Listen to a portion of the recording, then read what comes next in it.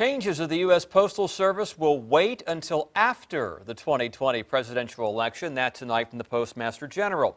With coronavirus, voting by mail is expected to play a big role. Changes on hold include cutting overtime and high-speed sorting machines and funding problems.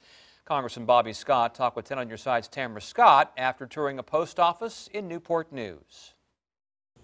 Congressman Bobby Scott was here at this local post office in Newport News today to address the concerns and push for residents to get their mail-in ballots in early. Well, actions speak louder than words. Those were Congressman Bobby Scott's thoughts early Tuesday morning when he stopped by this post office on 25th Street in Newport News. Late this afternoon, the Postmaster General Louis DeJoy sent out a statement clarifying any initiatives or changes to the Postal Service would come after the election. This has been a hot topic between lawmakers as the concern for delayed mail increased, especially after the Trump administration made claims they wanted to reduce resources in the post office and fear it may impact the results of the election.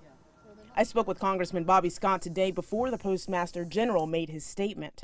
But some of the things that the president has said about sabotaging the post office in order to slow up the mail, to enhance his chances of being reelected, uh, just uh, reprehensible. Scott toured the local post office today to ensure everything was intact for the local residents. In some areas, they have removed sorting machines.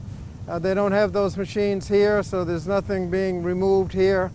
Uh, so that that is, is, not a, is, not, again, is not a local problem.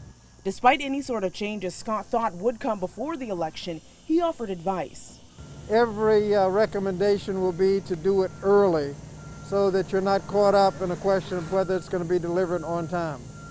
Uh, but the easiest thing to do is to just go to the registrar's office and vote. Thousands of Americans are expected to mail in their ballot this year, and Congressman Scott emphasized today to learn your jurisdiction's start dates and deadlines and to get it done early.